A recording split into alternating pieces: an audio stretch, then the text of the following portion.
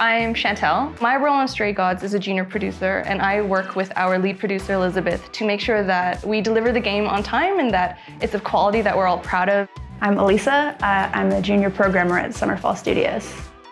I work with our engineering director, Troy Finn, and he's done an amazing job on the engineering for this game. Most of what I do is bug fixes. You know, I've worked on like some controller support and tools for the other teams to make their stuff easier.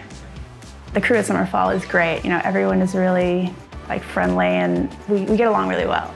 Through VicScreens and Summerfall, we were able to go to GCAP and AGDAs, and I met so many people in the game dev community through those VicScreen networking events. It was just really cool getting to talk to people about the things that they are working on that they're so passionate about.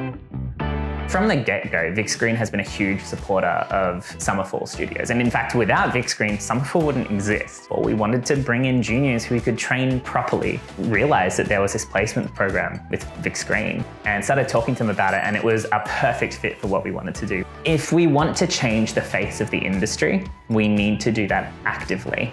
We need to support people rising up. We need to help to train them, to give them the skills and advantages that everyone else has.